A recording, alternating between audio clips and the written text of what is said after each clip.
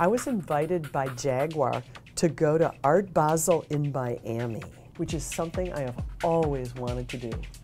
There are two key parts of Art Basel Miami for Jaguar. The first was a gallery exhibit with Wallpaper Magazine called Wallpaper Handmade with Jaguar in Miami, a kind of arty farty title of a gallery show of handmade objects done with artists in conjunction with companies. Because it was art, there were a lot of things I didn't understand, like what was that? But a couple of things I really did like was a set of handmade luggage. There was a picnic basket made out of wood and carbon fiber, which were materials found inside Jaguar, inspired by Jaguar design. Really, really cool. And there was this great toolbox of handmade woodworking tools, and right next to it, an outdoor grill. It really did look like a piece of art. But my favorite thing of all was an Armagnac tasting cabinet. Oh my dying word. The second part of JAG's involvement was a drive in brand new 2014 JAG F-type convertibles from South Beach, our hotel, the Mondrian, to the Keys. And it was 85 degrees and sunny, and that, to me, was the reason I was there. Let's talk about the Mondrian Hotel for a second. This is another in a series of uber hip hotels I've been staying in lately where I swear this techno music that is in every play you can't hide from it. They ought to be giving you ecstasy with your room key when you check in. And let's talk about the room. Oh my God. It's a big, spacious room, but it's really kind of wacky. Like, first of all, when you walk in, there's a kitchen area that is paneled in all these porcelain Delft-like blue and white tiles. And when you look at them closer, they're like beach scenes. It's really weird. When you move into the room a little farther, you come to an orange mirror.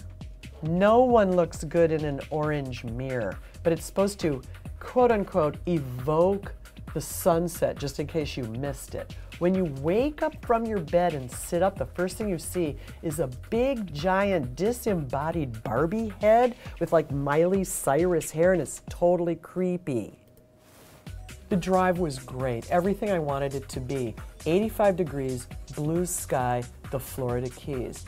Now, the drive is not exciting because it's straight down. What's exciting is blue skies, 85 degrees, convertible, and the Cheeca Lodge, where we ate outside right up against a sugar sand beach. I was in heaven, I wanted to move there.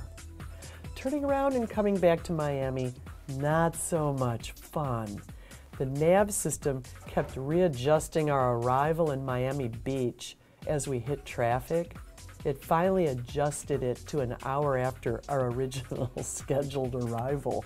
So you know, the only good thing about it was we got to see how cool the Jag's taillights look lit up by following another one of our convertibles, and the number of people that passed us yelling how great the car looked. The one real, real exciting art thing I got to do was the piston head exhibit of art cars on top of a, a, this fantastic parking structure, which was designed by a famous Swiss architect firm. The parking structure was as cool as the cars. The cars blew my mind. I was so excited by Piston Head that I felt like I had actually seen Art Basel when I'd missed about, oh, 99% of it because it's sort of the art world's equivalent of Pebble Beach for a first timer.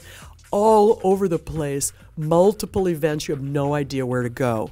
I think Piston Head was the best thing. And just to finish it off, the wacky part of it all, when I got back to the hotel, I saw a jewel encrusted ice cream truck full of crazy toys and flashing mouse ears. Maybe this had to do with a rave. Maybe this was rave stuff.